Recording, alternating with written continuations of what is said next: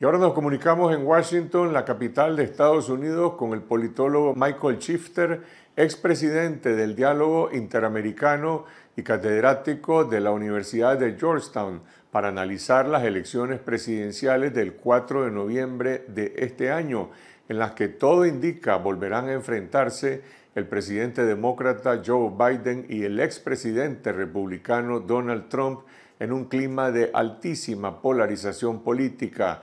Le preguntamos cuáles son las claves de esta elección y esto fue lo que nos dijo. Michael, el resultado de los caucus de Iowa confirman que Donald Trump es el favorito en el Partido Republicano por un amplio margen para ser el candidato presidencial en noviembre. ¿Tiene garantizado Trump el apoyo del partido para ser el candidato? Bueno, nunca está garantizado hasta que ya está totalmente confirmado, pero yo creo que las probabilidades que sea el candidato del Partido Republicano son, son muy grandes. Eh, Iowa se mostró obviamente su fortaleza, Ahora viene New Hampshire y luego Carolina del Sur. Está muy fuerte eh, y, él tiene apoyo demográfico muy importante. Republicanos, según las encuestas, de 65-70% republicanos en el partido. Entonces, eh, no está garantizado. Nikki Haley es la única otra opción, pero yo creo que para ella va a ser muy difícil.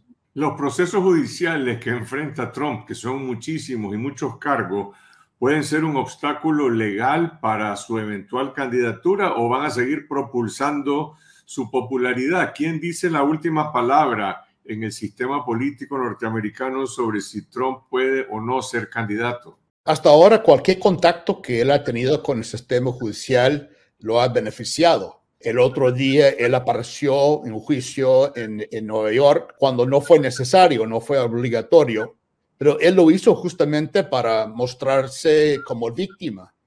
Él es muy, muy hábil y aprovecha cualquier oportunidad para mostrarse que es víctima del sistema que es contra él, que la razón por qué hay tantos juicios contra él es porque él tiene posibilidades de mover a la Casa Blanca. Y esto, esta estrategia política lo ha funcionado, lo ha funcionado hasta ahora. Ahora, ¿es posible en cuanto el yo no creo que va a haber impedimento de, poder judicial para que él no sea eh, candidato. Lo que podría pasar es que él en alguno de los juicios, él puede ser como, como mostrado como culpable. Y esto podría afectar su nivel de apoyo. Las encuestas demuestran como 25% republicanos eh, podría cambiar su opinión cuanto a Trump, si un jurado lo, ven, lo, ratifica como culpable. Pero más allá de eso, yo creo que no, tiene, no va a tener pimiento. Creo que la Corte Suprema va a tener una decisión eh, pronto que los que él eh, que él, él tiene que estar en eh, digamos en todos los estados como candidato y la gente tiene la última palabra para elegirlo o no elegirlo. Por el lado demócrata, parece que el presidente Biden eh, no tiene competencia para ser el candidato a la reelección, a pesar de que algunos cuestionan su edad avanzada, 81 años. ¿Es Biden el mejor candidato para los demócratas? ¿Es el único candidato? Bueno, yo creo que eh, ese debate eh, ya se cerró. ¿No es cierto? Creo que uno puede pensar que hubiera sido otros candidatos más fuertes. Yo personalmente creo que sí, pero esto ya, ya es un punto ya académico, no es un punto eh, real en este momento. Él va a ser el candidato del Partido Demócrata y Kamala Harris va a ser su vicepresidenta y la carrera parece entre él y Trump eh, claro, a, su edad y cualquier cosa puede pasar, hay una sensación todavía de incertidumbre y volatilidad en esta elección. Es muy inédita, nunca hemos tenido una cosa así, cualquier cosa puede pasar, pero yo no creo que lo van a reemplazar por otro demócrata. Ya está, la, él tomó la decisión y el partido está cerrando filas, ¿no? Hay algunos eh, candidatos menores, pero no tienen ninguna posibilidad. Visto desde fuera de Estados Unidos, eh, llama la atención que después del presidente Obama, que fue un presidente joven, en Estados Unidos pareciera que se ha instalado una especie de gerontocracia en el sistema político. ¿Por qué no hay un relevo generacional? en el caso del Partido Demócrata, hay buenos políticos, buenos candidatos. Eh, yo puedo nombrar varios que de otra generación. Lo que pasa es que Biden tomó la decisión de presentarse otra vez.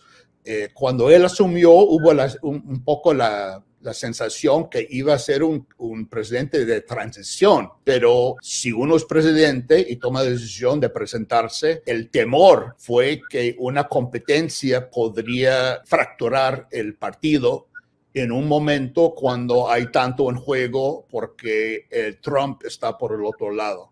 Entonces me parece eh, lamentable y también por el Partido Republicano. Hay buenos republicanos también que podría ser candidato otra, otra, generación, pero el partido está dominado por una figura casi de un, secta, un culto de personalidad. Eh, hay algo casi cuasi religioso de en la base del partido en su, en su lealtad a Donald Trump. Entonces eso no ha permitido que surge otras eh, figuras. Durante el aniversario del asalto al Capitolio hace algunas semanas, el presidente Biden definió estas elecciones como que lo que aquí está en juego, en esencia en Estados Unidos, es la democracia, una contradicción entre democracia y dictadura. ¿Hay temor en el electorado? ¿Ven a Donald Trump como un potencial dictador o lo ven como un populista? Yo creo que hay bastante temor entre los demócratas. El punto de partido es un país muy polarizado y donde hay eh, desconfianza total por un lado y el otro lado.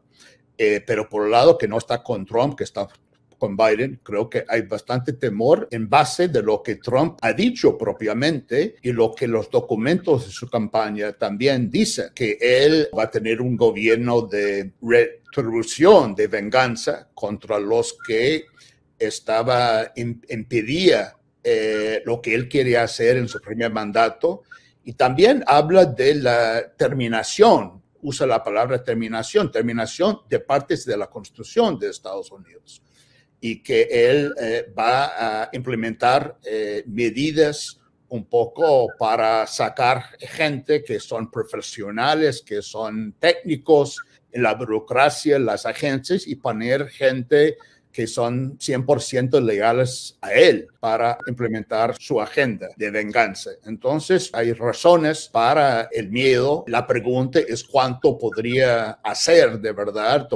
Eh, Estados Unidos es una sociedad y un país muy complejo, hay instituciones, hay contrapesos, eh, pero yo creo que eh, su plan no puede ser más, más claro lo que él quiere hacer. Si quiere llamarlo dictador, o no, pero obviamente es un hombre, quiere ser un hombre fuerte y imponer una agenda muy, muy conservadora en temas migratorios, en, en otros temas eh, también, y sacar gente que podría obstaculizar su agenda. Decías que ya se está viviendo un clima de polarización. Estas elecciones serán posiblemente más polarizadas que las de el 2020. ¿Quién decide eh, la balanza en una elección polarizada, es decir, los votantes independientes o las personas que algunas veces se quedan en su casa, ¿cómo se espera que puedan reaccionar ante esta polarización? Obviamente siempre buscan la gente más eh, independiente, más moderada. Hay mucha gente que no quiere esa carrera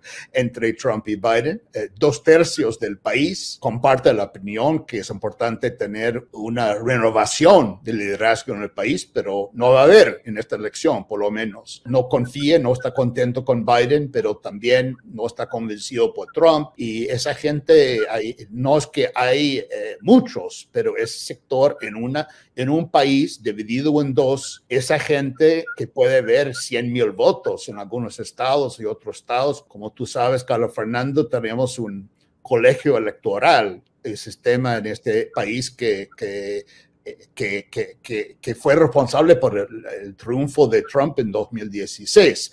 Él perdió ah, de manera abrumadora el voto popular a Hillary Clinton, pero ganó el colegio electoral. Entonces estamos hablando de pocos votos en pocos estados. Ahí está el balance. Y por lo tanto va a haber mucha, una campaña muy, muy fuerte, muy intensa y muy sucia, sobre todo seis estados de Estados Unidos que puede hacer la diferencia y quién gana y quién pierde.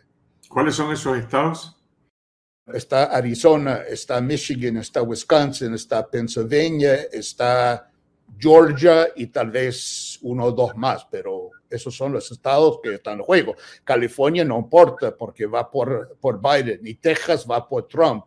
Entonces, eh, Nueva York va por Biden, y, digamos, el sur va por Trump. Entonces, eh, eh, el mismo Iowa, donde fue la elección, eh, el caucus, eso va por Trump. Eh, no, Biden no va a ganar e, ese estado de ninguna manera. Entonces, están enfocados en, en, seis estados que pueden ir por un lado y por otro. Y ahí está concentrando toda la campaña y todos los recursos de campaña. El voto latino, que representa cerca de un 19% eh, del electorado votó mayoritariamente por Biden en 2020, pero ahora según las encuestas tiende a emparejarse o a inclinarse incluso a favor de Trump. ¿Por qué? Bueno, es una buena pregunta. Yo creo que eh, hay desencanto con algunos latinos con la gestión de Biden. También ven él como, por su edad, no genera mucha confianza por la población en general, la población latina en Estados Unidos. Y también hay un tema económico que afecta a los latinos. A pesar de que algunas cifras son muy positivas en Estados Unidos, la economía, hay que reconocer que la gente asocian el principio de inflación con Biden. A pesar de que ha bajado durante Trump, no hubo una inflación. Y esto pesa mucho en la gente, influye mucho en la gente, incluyendo los latinos que ha subido eh, los precios de gasolina, de alimentos, eh, para comprar una casa. Eh, los tasas de interés están más altos ahora que eran bajo Trump. Yo creo que entonces hay una asociación de Biden eh, eh, a pesar de que no es su culpa, obviamente, y está tomando políticas eh, para un poco aliviar esa situación. Está bajando tasas de interés, está bajando inflación, pero todavía mucha gente, incluyendo la población argentina, lo asocian con Biden. Entonces, yo creo que lo está pasando la factura y a pesar de que no le gustan las, las políticas migratorias y todo lo de, de Trump, eh, tiene, recuerdan que bajo Trump eh, es su memoria que las cosas eran mejores. Eh, si tú preguntas, la gente ha mejorado su situación en los últimos cuatro años, ha empeorado. la mayoría dicen que ha empeorado. 65% de la población piensa que el país va por mal camino. Biden tiene 37, 38% de, de apoyo obviamente los latinos son parte y los jóvenes también.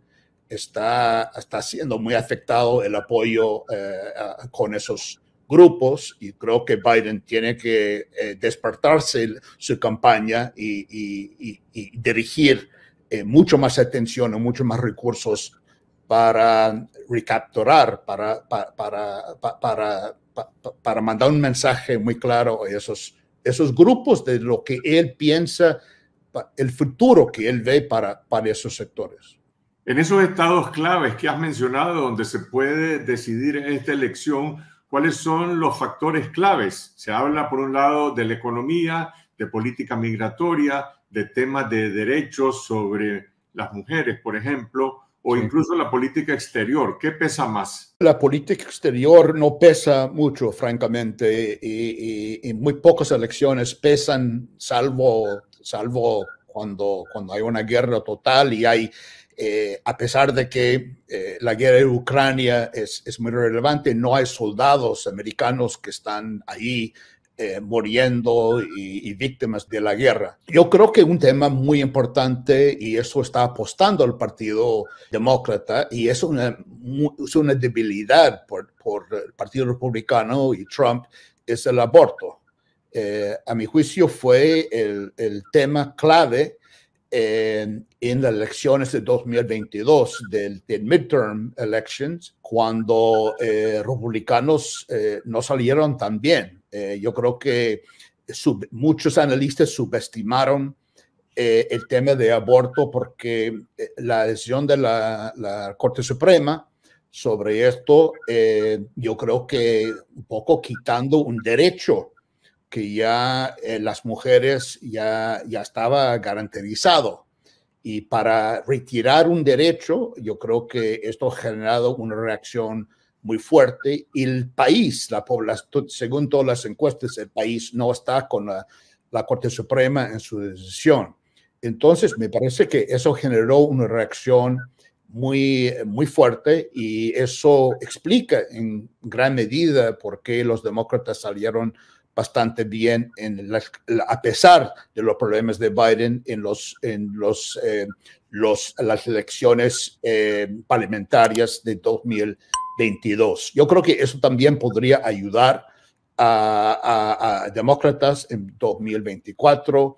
Creo que tiene que la economía, por cierto, el tema migratorio, eh, por cierto, yo creo que, que, Biden también es una gran debilidad eh, eh, en, su campaña y tiene que mandar un mensaje de lo que, lo que él, él espera hacer en esto y sus y, el, marco de su política, el tema migratorio. Eh, lamentablemente, eh, su gran debilidad, de gran vulnerabilidad, que es su edad, él no puede hacer mucho sobre esto. Eh, en noviembre, el 5 de noviembre, no va a ser más joven que, que hoy. Y esto, eso es un factor de incertidumbre. ¿Qué dicen las encuestas en este momento? Hay uno del candidato favorito, alguien que inicia con alguna ventaja?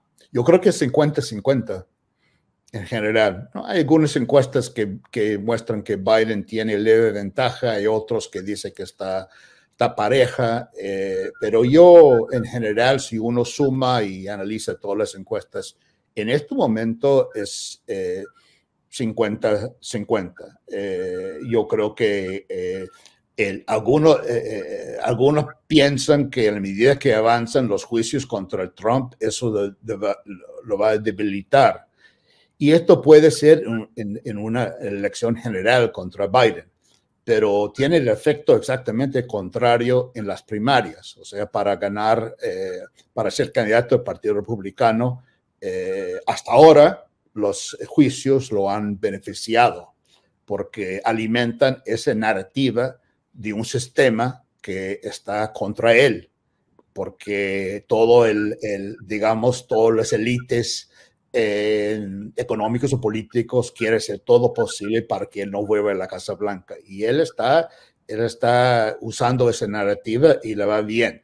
Si le va tan bien en la elección general, eh, sobre todo si está este, culpable en uno de, las, de los juicios, eso podría afectarlo. Gracias, Michael. Vamos a hablar más adelante en el transcurso de los próximos meses sobre qué significaría la victoria de Trump o la victoria de Biden para América Latina, pero creo que falta todavía bastante para acercarnos a ese momento. Bueno, muchísimas gracias. Un, un gran gusto. No, no, no vamos a aburrirnos, eso, eso es cierto.